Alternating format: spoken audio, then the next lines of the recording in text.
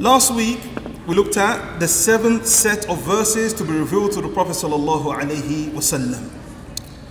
And this seventh, the seventh set of verses to be revealed to the Prophet sallallahu alaihi wasallam, we looked at the mawdu', the topics of this surah. And we said when we look at a surah in the book of Allah subhanahu wa ta'ala, they have mawdu', they have topics and subjects. And the mawdu', the topic of this surah, was or were five things. Can anybody remember them? So this seventh surah, the mawdu' of the surah were آخر الدنيا, the end of this dunya, وبداية الآخرة, and the beginning of the akhirah. Also the truthfulness of the Quran, Jibreel alayhi salam, and the Prophet sallallahu alayhi wasallam. And this surah was revealed to the Prophet sallallahu alayhi wasallam after the surah, the chapter that marked a da'wah to Jahriyah, the open propagation of the Prophet sallallahu alayhi wasallam. And the open propagation of the Prophet ﷺ was marked with which surah? What surah marked the open propagation? Which chapter of the Quran did open propagation begin after? Which surah? Which surah did we do? That after the open propagation of the Prophet ﷺ, this surah was revealed. La. Open propagation. Been that long? After the da'wah to Jahriya, open propagation of the Prophet sallallahu alaihi wasallam, this surah was revealed immediately afterwards. Surah Al-Masad, Tabbat yada abi lahabin wa tabb. And after this surah, after this surah, this surah marked the open enmity of the mushrikeen towards the Prophet sallallahu in the form of an individual was Abu Lahab. And then after that began the muharaba, the waging of war of the Quraysh against the Prophet ﷺ and his da'wah. First as a cold war, and second they launched a media campaign to defame the Prophet ﷺ. Now after this media campaign failed, after this cold war failed and the da'wah of the Prophet ﷺ began to spread, then began sunnatul ibtila, the sunnah which Allah subhanahu wa ta'ala has placed in this universe the tradition and the sunnah, the universal law of Allah subhanahu wa ta'ala of ibtila, trials, tribulation, and persecution of the believers in Allah subhanahu wa ta'ala. And the Prophet sallallahu alayhi wasallam, from the very beginning of the message of Iqra, he knew that the sunnah of Allah subhanahu wa ta'ala is going to come. For the Prophet sallallahu alayhi wasallam, immediately after Iqra, after Ghar al-Hira was warned that this sunnah of persecution is going to begin. And who warned the Prophet sallallahu wasallam? Salman. Who warned the Prophet sallallahu wasallam? Who warned him? Aywa. Waraqa ibn Nawfal. He said to the Prophet sallallahu alaihi wasallam, "Laytani kuntu jaza'an." I wish I was a youth. I wish I was young. Why? If yukhrijka qawmuk, when your people expel you and they kick you out. At this, the Prophet ﷺ was shocked. He said, Amukhrijiyahum, are they going to expel me? And then Waraqa ibn Nawfal, he told him and related the sunnah of Allah subhanahu wa ta'ala to him. ما جاء رجل قط بمثل ما جئت به إلا عودي. No man has ever come with the likes of what you come, came with except he has enemies. As Allah subhanahu wa ta'ala says, وَكَذَلِكَ جَعَلْنَا لِكُلِّ نَبِيٍّ عَدُوًّا مِنَ الْمُجْرِمِينَ and likewise, we've made for every single messenger, every single prophet, an enemy from the criminals. Allah subhanahu wa ta'ala also to the Prophet sallallahu alayhi wa sallam, وَلَقَدْ كُذِّبَتْ رُسُلٌ مِّن قَبْلِكَ Messengers have been denied and called liars before you. فَصَبَرُوا عَلَى مَا كُذِّبُوا But they were patient upon their denial. وَأُوذُوا And they were harmed. These messengers of Allah subhanahu wa ta'ala were harmed حتى أتاهم نصرنا until the victory of Allah Ta'ala it came to them and not only the messengers and the prophets will be harmed even the followers of the messengers will be harmed so today inshallah Ta'ala we're going to look at the persecution and the inquisitions of the Muslims after Da'wah Jahriyah beginning with the Prophet sallallahu alaihi wasallam and the Sahaba because those with the messengers also will be harmed as Allah subhanahu wa ta'ala says أم حسبتم أن تدخلوا الجنة do you think you're going to enter Jannah? وَلَمَّا يَأْتِكُم مَثَلُ الَّذِينَ خَلَوْا مِن قَبْلِكُم And the likes of what happened to those before you is not going to happen to you. مَسَّتْهُمُ الْبَأْسَى وَالضَّرَّاء They were touched with adversity and suffering, وَالضَّرَّاء وَharm وَزُلْزِلُوا and they were shaken حتى يقول الرسول until the messenger said والذين آمنوا معه and the believer said متى نصر الله when is the victory of Allah subhanahu wa ta'ala Ala inna nasrallahi qareeb. Verily, the victory of Allah Ta'ala is near. And not only those were the messengers at their time, even us as believers will be tested. Anyone who's on this path of the Prophet Sallallahu Alaihi Wasallam, according to Allah Azza wa jalla, you'll be tested. That's Allah Ta'ala says, Alif Lamim, Ahasib nas and yutraku. Do mankind think they'll be left alone? And yaqulu amanna. For them to say we believe wa hum la yuftanun. they will not be tested and tried by Allah subhanahu wa ta'ala so the sunnatul ibtila the sunnah of trials and tribulation will come to everybody who enjoys the good and forbid the evil so today inshallah ta'ala we're going to look at bidayah the beginning of sunnatul ibtila and the harms which the Prophet ﷺ was exposed to in the initial beginning, because there's other harms we're going to look at in other parts of Sirah, like what happened in Ta'if, for example, Uhud. But we're looking at the initial harms which the Prophet wasallam he was exposed to in the beginning of his da'wah. In the beginning only, the harms.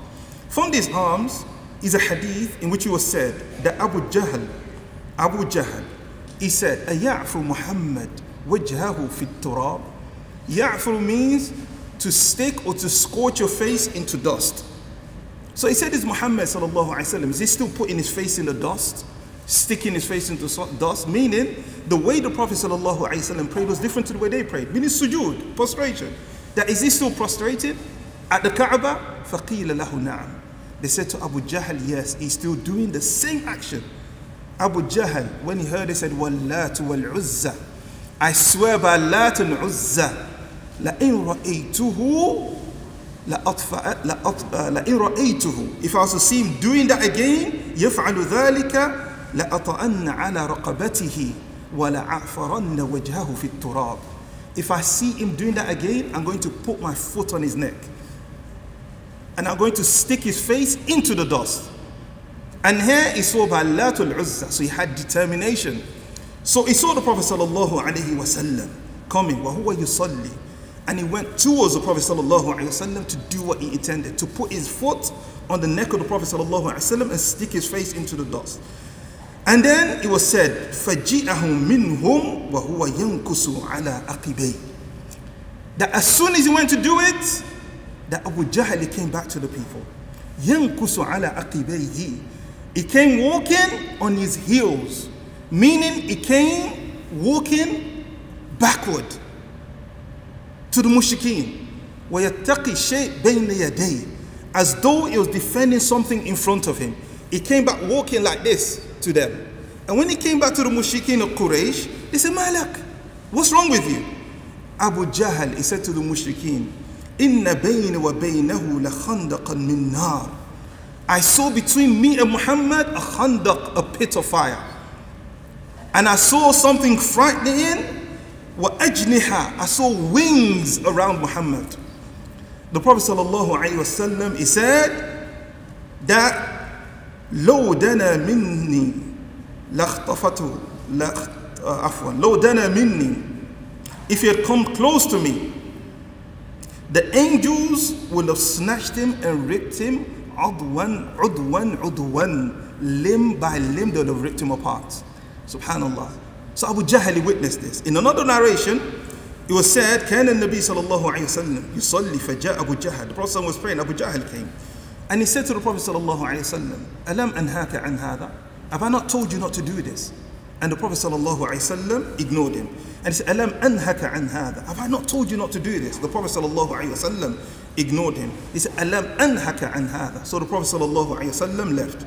And Abu Jahl, he followed the Prophet صلى الله عليه وسلم and he said to him, إنك لتعلم ما بها ناد أكثر مني He said, you know there's nobody here that has more of a backup, associates and allies than me.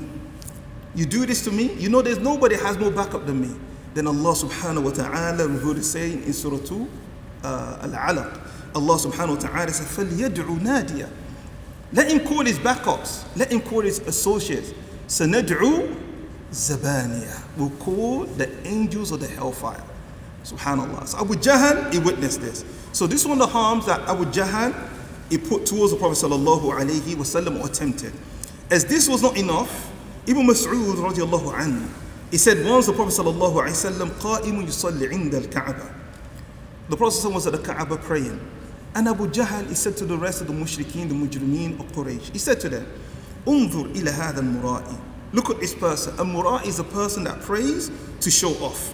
He said, أيكم يقوم إلى جزور آل فلان. Which one of you could go to the camel of such and such a people and Bring from it al-farth. Farth of the camel is the intestine of the camel. And bring from it likewise salah, salaha. Salaha is the fetus bag. You know when these animals they give birth, the baby's in the bag. What do you call it? I mean, what's it again, doctor? That bag that comes out with the baby. It surrounds the fetus.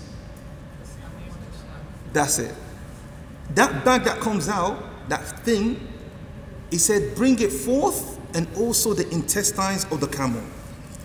فَجِئَ bihi. He said, bring it, and when you bring it, wait patiently, حَتَّى إِذَا سَجَدَ Until he goes into sujood and place it on his shoulder. So, فَلَمَّا سَجَرَ رَسُولُ اللَّهِ صلى الله عليه وسلم When the Prophet went into sujood, he put this thing between on the shoulders of, imagine the filth, the disgust, the smell of this thing, the intestine of the camel, and the fetus bag or sack. He put it on the shoulder of the Prophet sallallahu alaihi wasallam. فضحكوا حتى مال بعضهم إلى بعض من الضحك. They laughed so hard they were leaning all over each other. Severe laughter. The Prophet sallallahu alaihi wasallam, whilst they were laughing, he sallallahu alaihi wasallam remained in sujood and did not move until Fatima radiallahu anha she came out and she removed it from the shoulder of the Prophet sallallahu alaihi wasallam. And then Fatima radiallahu anha أقبلت عليهم تسبهم she turned to them insulting them. As for the Prophet sallallahu alaihi wasallam, قضى رسول الله صلى الله عليه وسلم الصلاة. When the Prophet sallallahu finishes salah, the Prophet sallallahu alaihi wasallam he said, Allahumma alayka bi Quraysh. Oh Allah, curse the Quraysh. And the Prophet sallallahu alaihi wasallam said, Allahumma alayka bi Quraysh. Allahumma alayka bil utb. Allahumma alayka uh, Utba ibn Rabi'a. والشيبة ابن ربيعة والوليد ابن عتبة وأمية ابن خلف the Prophet صلى الله عليه وسلم said وعقبة ابن المعيد وعمارة ابن الوليد so the Prophet صلى الله عليه وسلم he mentioned them one by one by one he started with Amr ibn Hisham actually it was said that when the Prophet وسلم to show they knew that this man was a messenger of Allah when he made his dua they put their heads down because one of their beliefs is whilst your head is up, belief of Jahiliyyah, the dua will catch you. So they bow, so the dua will not catch them. The Prophet named them one by one by one. And the leader in all of this was who? Abu Jahl. So where is the mention of Abu Jahl in this dua? Where's the mention of Abu Jahl? Huh? Barakallahu fi. Amr ibn Hisham. That was his name. Amr ibn Hisham. But his kunya was, was his kunya Abu Jahl? La, what's his kunya? Abu Hakam or Abu Hikmah, the father of wisdom. But the Prophet ﷺ called him the father of ignorance, Abu Jahl. So Amr ibn Hisham. Now, also from the harms that directed to the Prophet ﷺ, the verbal harms, is that once a Sahabi was asked that whatever did you witness that they harmed the Prophet ﷺ with the most verbally? He said once the Quraysh, they were at the Kaaba. And once at the Kaaba, they said, Ma ra'ayna mitla sabrina. We've not seen the likes of our patient with this particular individual, Muhammad sallallahu alaihi wasallam. Safaha ahlamana is ridiculed our intellects. وسب آباءنا وشتم آباءنا and it insults our forefathers. وعاب ديننا and it makes our deen look ridiculous. وسب آلهتنا and it insults our gods. We've not seen the likes of this patient with this person. And they were complaining. As they were complaining, the Prophet ﷺ appeared. And he came to the Kaaba to do tawaf. He did the first round of tawaf. The Sahabi, and at that time was a mushrik, he said, when the Prophet ﷺ, he did the first tawaf, he said, some of them, غَمَزُوهُ بِقَوْلِ بِبَعْدِ الْقَوْلِ They said or made some insulting statement. He didn't hear it towards the Prophet ﷺ. But how did he know? He said, فَعَرَفْتُ ذَلِكَ فِي وَجْهِ رَسُولِ اللَّهِ صلى الله عليه وسلم. I could see the pain in the face of the Prophet sallallahu alaihi wasallam. He said the Prophet ﷺ did the second tawaf and they said some insulting words. He said, فَعَرَفْتُهُ I could see it on the face of the Prophet ﷺ. He said, upon the third time, they said the same thing.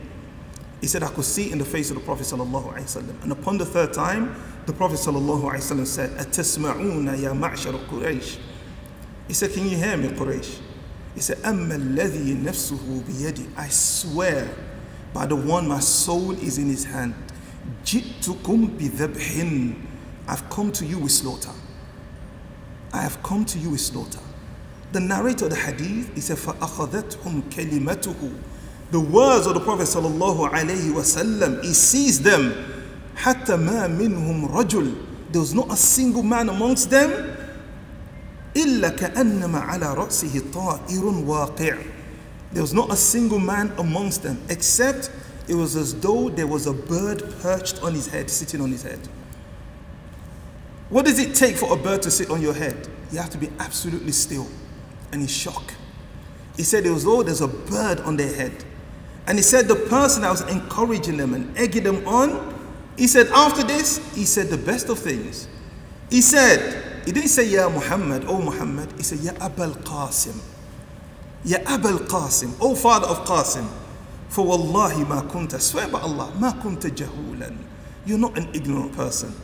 You're not fansarif, fansarafa. He told Prophet, you're not an ignorant person, so please leave us. So the Prophet ﷺ, he went. But they were in pain over there. So the next day, they gathered each other because now they've got over the shock. They got over the shock because that shock hit them. As we say in Nigeria, that the person that the car knocks down is not the one that reads the license plate. It's somebody else that reads the license plate. They were in shock.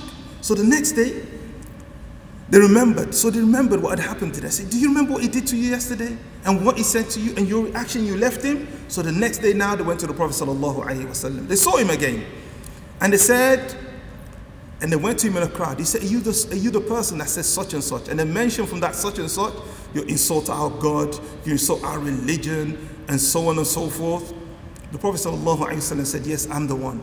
And they rushed to the Prophet ﷺ and they attacked the Prophet ﷺ and they grabbed him by his rida, by his top garment. At this point, the person was always with the Prophet ﷺ and the closest to him in battle was always who? Abu Bakr as-Siddiq. Abu Bakr as-Siddiq, he began to cry, saying to the mushrikeen, أَتَقْتُلُونَ رَجُلًا أَن يَقُولَ رَبِّي Allah. Are you going to kill a man because say, my Lord is Allah? So, first of all, I have to go back to the first hadith, or the first two hadith, in which the Prophet ﷺ said, Jittukum bidhabhin, I've come to you with slaughter. Some of the Orientalists, or the enemies of the deen of Allah subhanahu wa ta'ala, they use such hadith to show that Islam is a bloodthirsty religion, a brutal religion, barbaric religion. Look at what your Prophet is saying. Jittukum bidhab, I've come to you with slaughter. The Orientalists, they also use this hadith to show the justification, as they say, of terrorism in the minds of the Muslims. Now, this hadith, first and foremost, is it sahih? Is it authentic? This hadith is authentic. But just because a hadith is authentic, it doesn't mean the people's understanding is correct on all authentic. For the, for the non-Muslims, the Orientalists, or even from the Muslims, because there are Muslims today that use this hadith wrongly. They take this part of the deen and they say, we just come to you to slaughter. I remember once in Hyde Park, we're giving da'wah, and a Christian, he said something which was unacceptable. And the brother did not even think twice. He just headbutt him straight away, bang. I remember that day well, the guy had glasses on, he broke like this. And now, the only, now the brother's gonna go further. Because now, he gave him that headbutt, now he's getting closer. So the only, the same Christian would say this honorable thing, the only safety net he had was to say, is this what your prophet ordered you with? That was his only safety net, to make the brother hold back. But did the brother hold back? No. He said, no, this is not what the Prophet ordered us with. In fact, he said, Jitukum I've come to you with slaughter. Now, how do we understand this hadith? Jitukum bidhab. To understand this, we have to understand the message of Islam in its complete sense. You cannot take one part of Islam and think that's the whole of Islam. We have to understand the fundamental message of Islam and you build this based on the fundamental. This is very important. Don't take a part of something. This is the way of Yahud.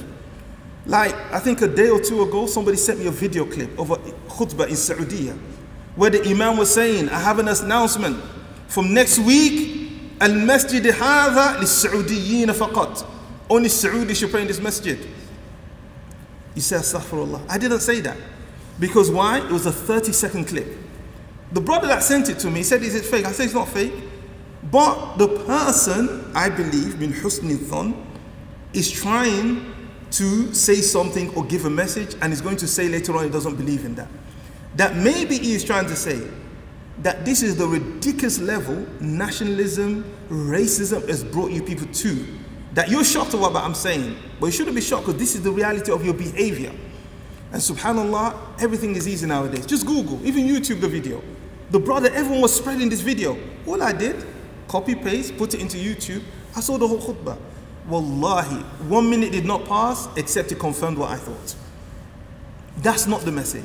So people take one part of the deen and they try to judge the deen based on that. So what is the fundamental message of Islam? Why did Allah Ta'ala send the Prophet Sallallahu Alaihi Wasallam? Allah Subhanahu Wa Ta'ala said, وَمَا أَرْسَلْنَاكَ إِلَّا رَحْمَةً لِلْعَالَمِينَ We did not send you except as a mercy to mankind. This is the fundamental message.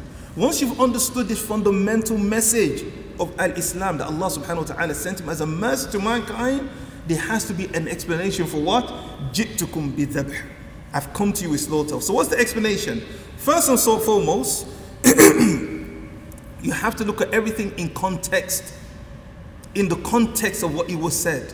And in the context of what was said, who was the Prophet sallallahu alaihi wasallam? Who was he addressing in this hadith? The people the Prophet ﷺ were addressing in this hadith were not just the Quraysh, the mujrimeen, the criminals of Quraysh.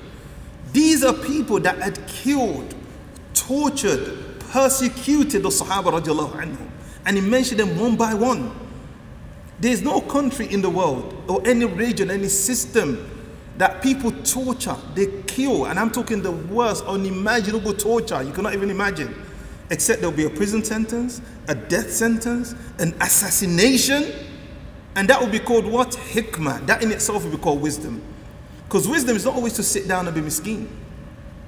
You cannot say, I have a lot of hikmah. I'm going to go and cut down a tree with a razor blade.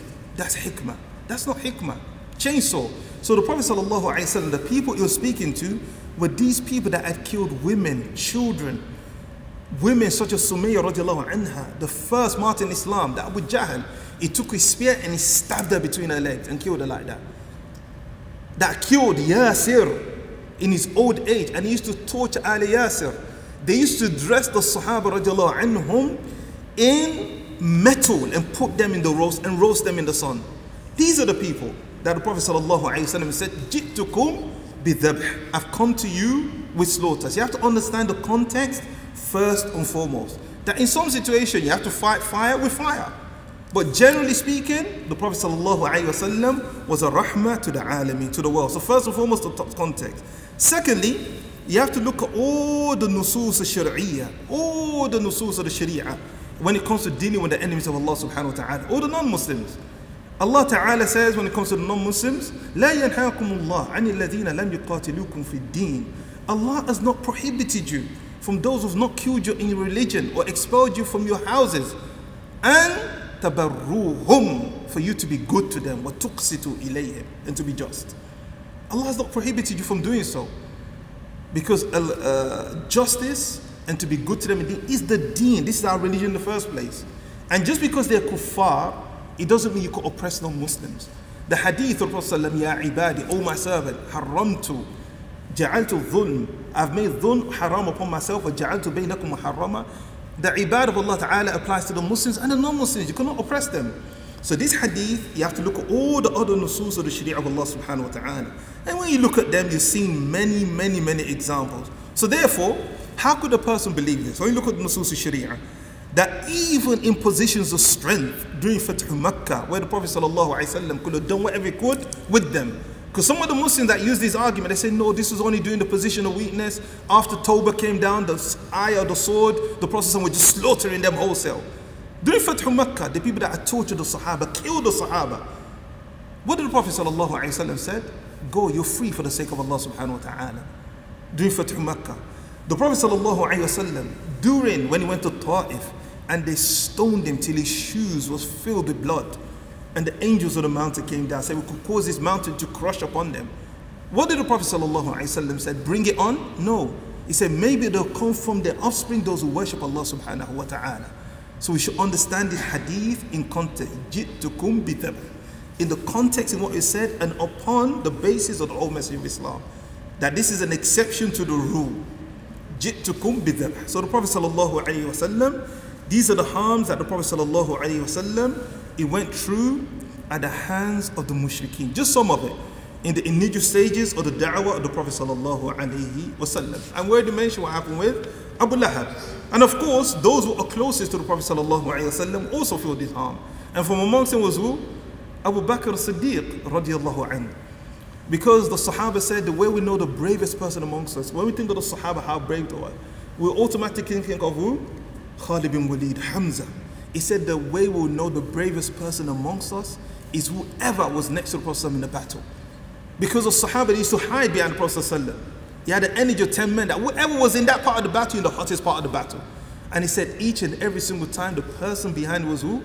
Abu Bakr Siddiq radiallahu anhu. So Abu Bakr Siddiq, what touched the Prophet would touch him many times. In fact, Abu Bakr Siddiq, it was mentioned that by Aisha radiallahu anha, that once the companions of the Prophet sallallahu alaihi wasallam met. And at this time, ثمانية وثلاثين رجلا there were only 38 of them. Only 38 men. So Allah Abu Bakr radiallahu an ala Rasulullah sallallahu alayhi wasallam. Abu Bakr insisted that the Prophet come out openly and speak to the Quraysh. Come out openly. But there's only 38 of them. So the Sahaba radiallahu anhum, they said to Abu Bakr radiallahu an, Inna qaleel. We're very, there's very little of us. Abu Bakr insisted, no. So when the Prophet sallallahu alayhi wasallam, he came out, Abu Bakr, he stood and he began to speak. They said, Awwal Khatib is the first person, Abu Bakr radiallahu an, to call to Allah subhanahu wa ta'ala and the Messenger sallallahu alayhi wasallam. When he began to do this, everyone in the masjid ran in different directions and everyone went to their tribe. When he began to speak, the mushrikeen, they started to attack Abu Bakr radiallahu an and the Muslims in the masjid. And when they began to attack them, they went for Abu Bakr the most, for Darabuhu. They went to the corner of the masjid, Darabuhu Darban Shadidan. They hit him severely until he fell on the ground. And when he fell on the ground, Utbah bin Rabi'ah, he took off his shoes. This shoe was made of camel skin. And he started to hit Abu Bakr radiallahu an in his face with his shoes. Aisha radiallahu anha, she said, حتى ما يعرف وجهه من أنفه that Abu Bakr radiallahu anh was hit so badly you could not tell his face from his nose that's how much they hit him until Abu Bakr radiallahu anh he passed out completely unconscious they had to carry him home, home in a thobe but the people that came to carry him was who? Banu Tamim, his tribe the tribe of Abu Bakr, Banu Tamim, they came, they lifted him, took him home Banu Tamim, they had no doubt that Abu Bakr was going to die. That's how severe the beating was. So after they took him home, Banu Tamim, they went back and they said to the Kaaba, to the masjid, they said, Wallahi, la immat Abu Bakr, la laqtulanna Utbah bin. If Abu Bakr dies today, we're going to kill Utbah bin. He's going to die. So when Abu Bakr radiallahu anh started to come around, the first thing he asked was what? How is the Prophet sallallahu alaihi wasallam? So Abu Bakr, what touched the Prophet sallallahu also touched Abu Bakr. But Abu Bakr had one thing. And what did Abu Bakr radiallahu anh have? A strong tribe. Because look at the reaction of Banu Tamim. And this we mentioned that in this council seerah, it should be a durus, a lesson and examples for us. How to take advantage of what you have. So he had Banu Tamim, his tribe, that if he dies, we're going to kill Utbah. Do you think they did this Abu Bakr again? Never. But the rest of the Sahaba, that protection which Abu Bakr as-Siddiq, he had it in hand. The mustada'afin min as-Sahaba. Like Bilal radiallahu an, Ali Yasir. So we're going to look into the persecution, bi'idhnillah ta'ala, next week of these Sahaba. severe persecution and tortures, and how that never shook majority of them from their deen. And to give an example of this persecution, is that one of the Sahaba, radiallahu an, this Sahabi, he became from the leaders of the Muslims later on.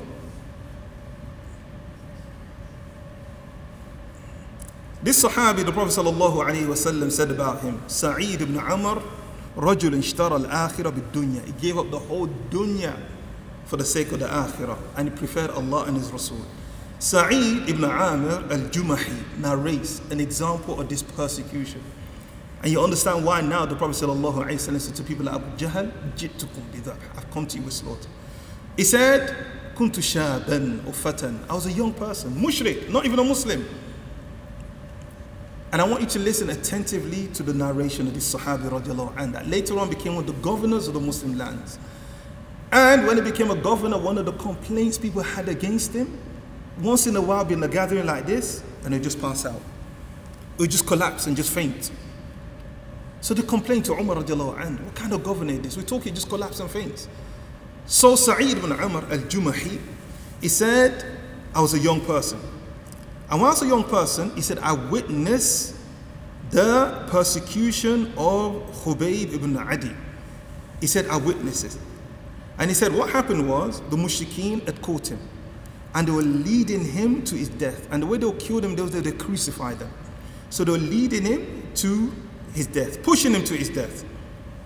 So he said, whilst they were pushing him to his death and he reached where they're going to crucify and going to kill him, they said to him, لما وصلت وصلت الجموع when they reached the place إلى المكان that Khubayb ibn Adi he said to them إن شئتم تتركوني أرك ركعتين if you allow me just allow me to pray two rak'ah before you kill me that was his last request ثم نظر إليه they let him they looked at him what's that going to do for you ويستقبل القبلة and he turned to the qibla ويصلي ركعتين Ya laha husnihima. He said, what's two raka'ah I've ever seen more beautiful than this?